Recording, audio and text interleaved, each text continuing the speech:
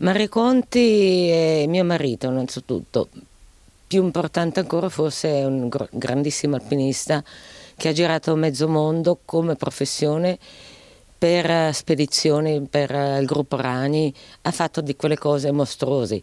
Pensare solo a 54 anni di professione di guida alpina, mai interrotta. A quasi dieci giorni dalla scomparsa di Mario Conti, a Mossini tutto è fermo al 14 novembre.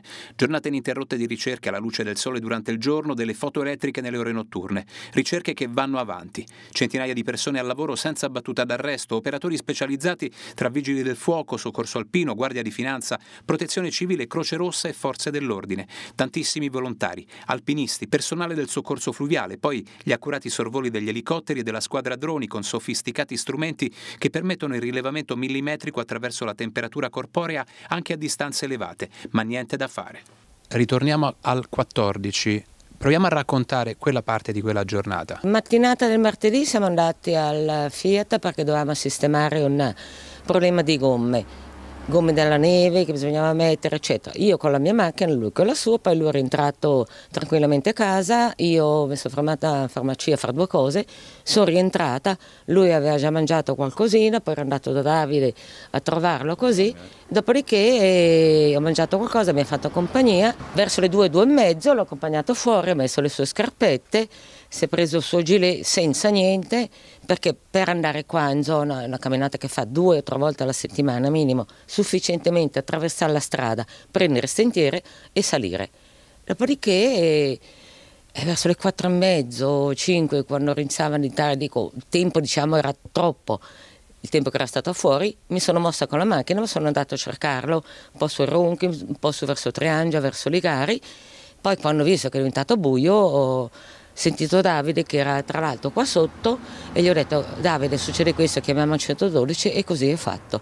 Ci, stoppiamo, ci stiamo spaccando la testa, non sappiamo cosa pensare, non abbiamo un granello di, di indizio, non abbiamo niente. Parliamo di una persona di 79 anni ma che in realtà ha una fisicità pienamente atletica, c'è anche la seria possibilità, più che una possibilità, che si sia mosso anche camminando. Potrebbe essere sì perché comunque io ho partecipato alle ricerche fin dal primo giorno appunto alle 5 e mezza sono partito a fare il, il giro che faceva di solito lui appunto.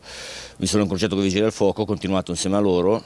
Posso dire che la zona qua è stata fatta veramente bene quindi a questo punto potrebbe essere si potrebbe anche valutare il discorso che si, si sia allontanato e non saprei però cioè, come fisicamente potrebbe essere arrivato tranquillamente anche a Colico e oltre. Ha preso un treno, se deve essere andato a piedi, se... non saprei niente, non, non, ho nessuna idea sinceramente. Può essere successo anche questo, magari se è disorientato, poi la fatica, senza mangiare, ok, da bere può trovarlo, poi lui cammina, cammina. Più di vent'anni fa abitava a Mandello, magari così magari ha chiesto un passaggio o magari gliel'hanno dato persone che erano ignare del fatto. Mario prende medicine?